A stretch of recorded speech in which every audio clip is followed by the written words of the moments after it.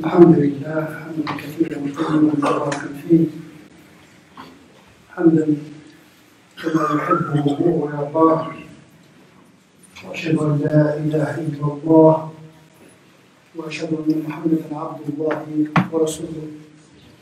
اللهم فصل وسلم على هذا النبي العظيم. وعلى آله وصحبه الطاهرين وعلى من اهتدى بهديه إلى يوم الدين فأما بعد. أوصيكم ونفسي بتقوى الله عز وجل. حيث أمرنا في محكم التنزيل بعد أعوذ بالله السميع العليم من الشيطان الرجيم. يا أيها الذين آمنوا اتقوا الله حق تقاته. ولا تموتن إلا وأنتم مسلمون. ذكرنا في خطبة مضت أن أصل المرأة والرجل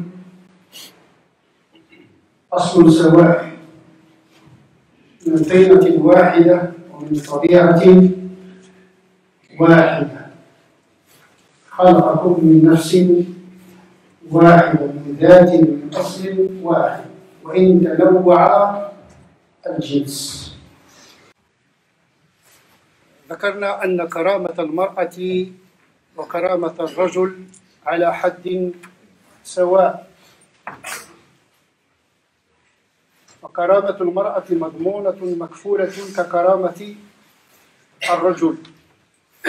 ولقد كرمنا بني آدم بما فيهم الرجال والنساء. واليوم إن شاء الله سنطرق حديث المساواة الخلقية. هل الرجل أطوع لله من المرأة وهل المرأة أعصى لله من الرجل؟ إذا المسألة في مسألة الطبيعة الخلقية. في أذهان كثير من العوام بل عند كثير من عوام العلماء والخطباء والأئمة وإن لم يذكروا ويصرحوا بذلك فإنهم يعتقدون أن المرأة دون الرجل في الأخلاق وفي الروح وفي الطاعة. هي أنقص منه ومرد هذا الاعتقاد تسرب إلى المسلمين من قراءة للعهد القديم الذي جاءت فيه قصة آدم وحواء تفيد بأن حواء تحالفت مع الشيطان لقلة عقلها. لتغوي آدم هكذا جاء في في التوراة في سفر التكوين. فعوض أن نقرأ العهد القديم على ضوء القرآن قلبنا المعادلة قرأنا النصوص الإسلامية على ضوء قصة آدم وحواء. وتسربت هذه الفكرة إلى اعتقادات المسلمين أن حواء هي سبب الإغواء فدخل الشيطان على آدم من طريقها. ولذلك في التصور العام أو المخيلة العامة لكثير من الناس أن المرأة والشيطان إذا رأيت المرأة رأيت الشيطان. وكأن الشيطان متلبس بها. هكذا وإن لم يصرح به الناس. وهذا نجده في حديث العوام بل وفي خطابات دينية تسمى الإسلام فما حقيقة الأمر؟ القرآن يأتي بسرد مخالف لسرد العهد القديم ولسرد التكليف أولا القرآن يقول فوسوس إليهما الشيطان. لم تجد في القرآن فوسوس إليها الشيطان. إذا هما في الوسوسة سواء آدم وحواء. بل نجد في القرآن أن الموسوس هو آدم. فوسوس له الشيطان. قال يا آدم هل أدلك على شجرة الخلد؟ وملك لا يبلى لا ذكر لحواء في هذه المسألة أصلا. إنما هي ضحية لا جانية هي ضحية. معصية آدم. فعصى آدم ربه. تجد فعصت حواء أو زوجة حواء آدم. لا فعصى آدم ربه. فتلقى آدم من ربه كلمات فتاب عليه. هذا صاحب صاحب خطيئة لم ندخل حواء في المسألة نهائيا.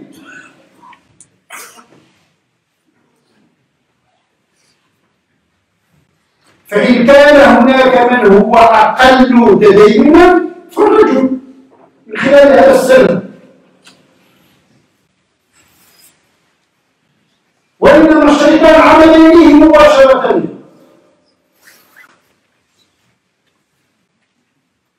أما حواء فهي بمعزل عن هذه القصة القصة جملة وتفصيلا والمسؤول على هذه المعصية هو آدم فتشقى لأنه هو الذي يدفع الثمن الثمن هو الشقاء يعني العمل والشغل. ولذلك لم يترتب على هذه المعصية شيئا على حواء بخلاف ما هو في العهد القديم أن عقاب المرأة إذ أنها أخطأت أن تلد في الوجع. يخشون دولة. هكذا مكتوب في في سفر التكوين. أما في القرآن فلا ذكر لا لعقاب ولا نتيجة لخطأ. بالنسبة لحواء إنما القصة مربوطة بآدم الرجل لكن هناك حديث في البخاري ومسلم هو حديث مشكل الحديث يرويه البخاري ومسلم من حديث أبي هريرة رضي الله عنه. فيه لولا بنو إسرائيل لما خلز اللحم ولولا حواء لما خانت أنثى زوجها. النص الوحيد الذي يذكر حواء باسمها في هذا الحديث. لأن القرآن لا يذكر حواء. كاسم. هذا هو الحديث الوحيد الذي يذكر أمنا حواء باسمها. في إشكال. العقلانيون المفرطون في تقديس العقل يقولون هذا الحديث نروي به نروي به لأن اللحم خلص قبل بني إسرائيل وما علاقة بني إسرائيل وتعفن اللحم. وهذا يخالف البكتيريولوجيا البكتيريولوجي. يعني اللحم يتعفن إذا بقي. فما علاقة معصية بني إسرائيل وتعفن اللحم. وما جريمة الإنسان بعد ذلك. والله يقول لا تزر وازرة. وزر أخرى الذين يعرضون هذا الحديث على مجرد العقل على مجرد عقلهم هم العقل. قد يخالفه عقل آخر. أنا أرى في هذا الحديث تعارض مع العقل. مع العلم أن ليس كل ما في الحديث في البخاري ومسلم قبله علماء الحديث. نعم البخاري ومسلم هما أصح الكتب لكن ليس كل ما في البخاري ومسلم قبل عند علماء الحديث.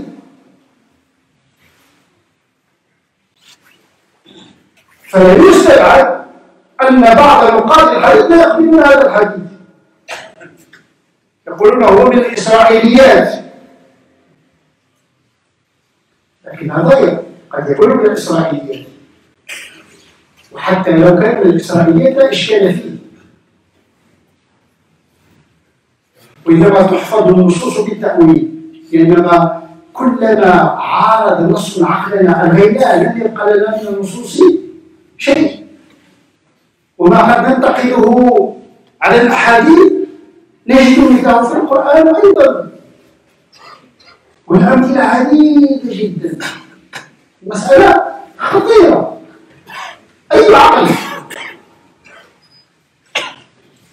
ولذلك ينبغي أن نوفق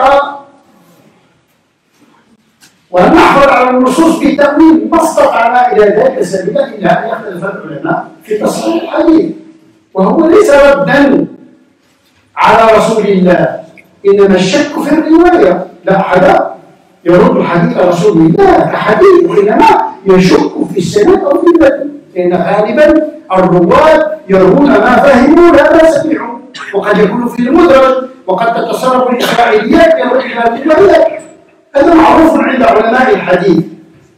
وبعضهم يعلمون أن كثيرا من الأحاديث التي رواها أبو هريرة تسربت إليها كثير من الإسرائيليات لأن أبو هريرة كان يجلس مجلسا معه فيه كعب الأحبار وكعب الأحبار يروي الإسرائيليات وهذا يروي الأحاديث.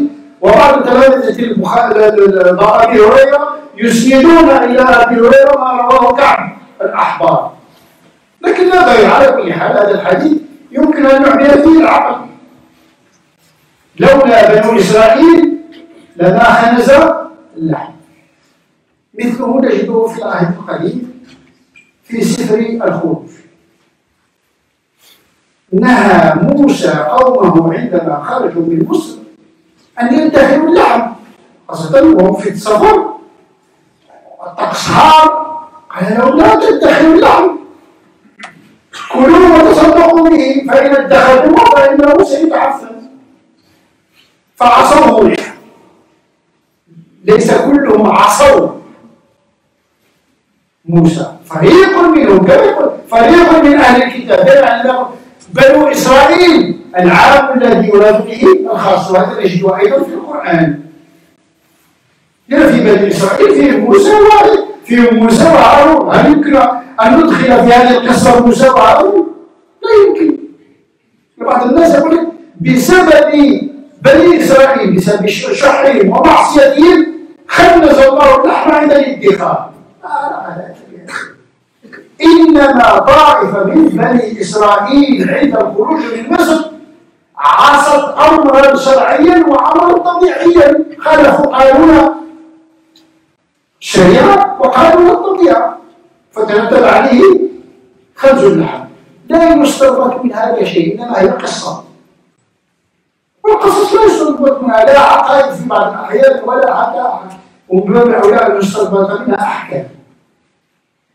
وغالبا ما يروى من الحديث إلا مقطع. يجد كثيرا في في الأحاديث أن الراوي لا يروي من الحديث إلا مقطع. لا لا تعلم سباقه ولا إلحاقه ولا تعرف سبب وروده كثير من الأحاديث لا تفهمون على لأن يغيب عنك سبب الورود إذا إذا فسر هذا الحديث بأن بني إسرائيل يعني طائفة من بني إسرائيل عند الخروج من مصر خالفت أمر موسى فتعفن له هذا لا لا يخالف لا علم ولا منطق ولا شيء. إنما التأويل هو الذي يسدد الأمر. ولولا حواء ما خالت أنثى زوجها. يمكن أن نفهم من هذا الحديث أنه مكرمة بحواء كنشوف المكرمة هذه الإمام هذاك يخدم كنشوف الحديث راه واضح هو يعني الناس هذول يتعاملوا مع النصوص يتبادر أول ما الحرف المعنى الحرفي ولذلك لا ينبغي أن يجمع النصوص من ليس من أهل العلم ولولا حواء ما خالت أنثى زوجها. يعني حواء تكون من؟ ليس هناك إلا رجل واحد هو آدم تكون مع من؟ هي لازم تبقى خيانة زوجية إذا الخيانة ماذا؟ حواء خالت ماذا؟ جاء في الإفصاح عن معاني الصحاح للوزير الصالح ابن أبي هبيرة أو ابن هبيرة أن الخيانة هنا أنها لم تنصح له ولم تمنعه من الأكل من الشجرة. يعني أنها أعقل منه لكن لم تجرؤ على النهي. وهذا هو الغالب على النساء؟ لا تجرؤ على على الرجل أن أن تأخذ بيده. الخيانة ليست خيانة في الزوجية. إنما لم تنصح له لأنه فهمت أنه قادر على المخالفة إذا هي أوعى منه في المخالفة. إنما تلام لأنها لم تجرؤ. ومن طبيعة المرأة أن لا تجرؤ على الرجال. إلى يومنا هذا. لكن لا ينبغي لها ذلك. ينبغي أن تأمر بالمعروف وتنهى عن المنكر. هذا الذي تنام عليه.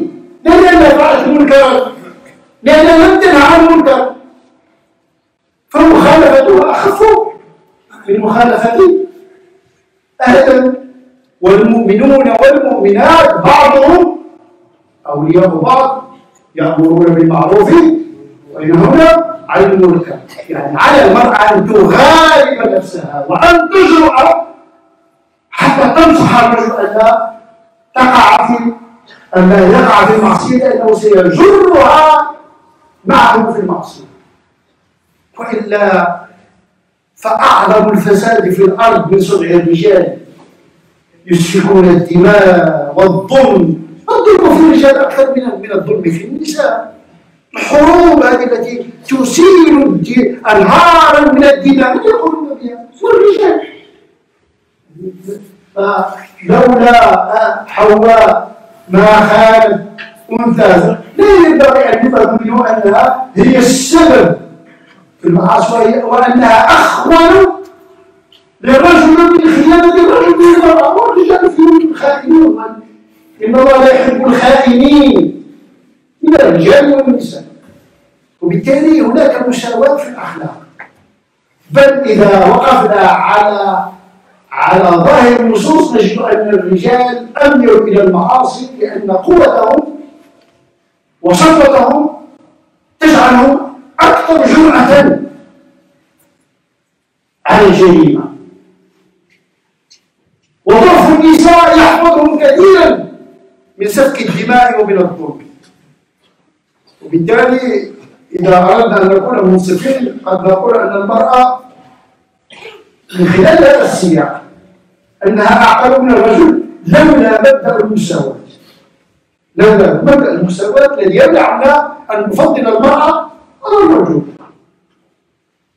نسأل الله عز وجل أن يجعلنا من الذين يستمعون القول الذين هداهم الله. وأولئك هم الألباب سبحان ربك رب العزة عما يصفون وسلام على المرسلين. والحمد لله رب العالمين.